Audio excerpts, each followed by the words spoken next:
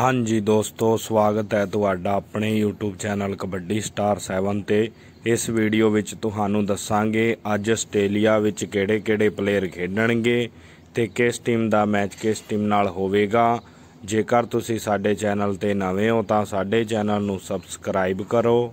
ਅੱਜ ਤੇ ਕੱਲ ਦੋ ਦਿਨ ਗ੍ਰਿਫਤ ਆਸਟ੍ਰੇਲੀਆ ਵਿੱਚ ਸਿੱਖ ਖੇਡਾਂ ਕਰਵਾਈਆਂ ਜਾਣਗੀਆਂ, ਜਿੱਥੇ ਸਾਰੇ ਹੀ ਸੁਪਰਸਟਾਰ ਪਲੇਅਰ ਖੇਡਣਗੇ। ਜੇਕਰ ਟੀਮਾਂ ਦੀ ਗੱਲ ਕਰੀਏ ਤਾਂ ਸਿੱਖ ਖੇਡਾਂ ਵਿੱਚ 6 ਟੀਮਾਂ ਖੇਡਣਗੀਆਂ। ਪਹਿਲੀ ਟੀਮ ਹੈ ਬਰਮਿੰਗਮ ਦੂਜੀ ਟੀਮ ਹੈ ਬਿੱਟੂ ਦੁਗਾਲ ਕਬੱਡੀ ਕਲੱਬ ਤੇ ਤੀਜੀ ਟੀਮ ਹੈ SBS New Zealand kabaddi club. Pool B ਦੇ ਵਿੱਚ ਤਿੰਨ ਟੀਮਾਂ ਖੇਡਣਗੀਆਂ, ਹਰੀ ਸਿੰਘ ਨਲਵਾ ਕਬੱਡੀ ਕਲੱਬ, ਬਾਬਾ ਬੰਦਾ ਸਿੰਘ ਬਹਾਦਰ ਕਬੱਡੀ ਕਲੱਬ ਤੇ ਬਾਬਾ ਦੀਪ ਸਿੰਘ ਕਬੱਡੀ ਕਲੱਬ।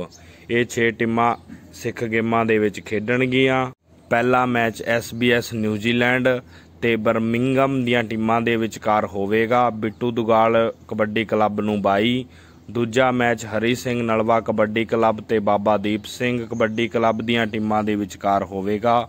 ਬਾਬਾ ਬੰਦਾ ਸਿੰਘ ਬਹਾਦਰ ਕਬੱਡੀ ਕਲੱਬ ਨੂੰ 22 ਦਿੱਤੀ ਜਾਵੇਗੀ। ਜੇਕਰ ਪਲੇਅਰਾਂ ਦੀ ਗੱਲ ਕਰੀਏ ਤਾਂ ਸਿੱਖ ਗੇਮਾਂ ਵਿੱਚ ਜੋ ਪਲੇਅਰ ਖੇਡਣਗੇ, ਜੈਰੋ ਚਵੇਜ ਦੀਪਕ ਕਾਸ਼ੀਪੁਰ, ਦੀਪ ਦਬੁਰਜੀ, ਨਿਰਮਲ ਲੋਪੋਕੇ ਚੱਕੀ ਰਮਦਾਸ, ਨੰਨੂ ਦੀਪਗੜ ਫੁੱਲਾ ਸ਼ੋਸ਼ਕ, ਗੁਰਦਿੱਤ ਕਿਸ਼ਨਗੜ ਪਿੰਨੀ ਪਟਾਰਾ, ਬਿੱਲਾ ਗਗੜਾ, ਫੌਜੀ ਸੀਹੋ ਮਾਜਰਾ ਇਹਨਾਂ ਤੋਂ ਇਲਾਵਾ ਹੋਰ ਵੀ ਕਈ ਸੁਪਰਸਟਾਰ ਪਲੇਅਰ ਖੇਡਣਗੇ। ਇਸ ਕਬੱਡੀ ਕੱਪ ਦਾ ਲਾਈਵ ਆਸਟ੍ਰੇਲੀਆ ਕਬੱਡੀ ਲਾਈਵ ਤੇ ਕਬੱਡੀ ਜੰਕਸ਼ਨ ਦੇ YouTube ਚੈਨਲ ਤੇ ਚੱਲੇਗਾ। ਜੇਕਰ ਤੁਹਾਨੂੰ ਵੀਡੀਓ ਵਧੀਆ ਲੱਗੀ ਹੈ ਤਾਂ ਵੀਡੀਓ ਨੂੰ ਲਾਈਕ ਤੇ ਸ਼ੇਅਰ ਕਰੋ। ਕਬੱਡੀ ਦੀ ਹੋਰ ਅਪਡੇਟ ਲਈ ਸਾਡੇ YouTube ਚੈਨਲ ਨੂੰ ਸਬਸਕ੍ਰਾਈਬ ਕਰੋ।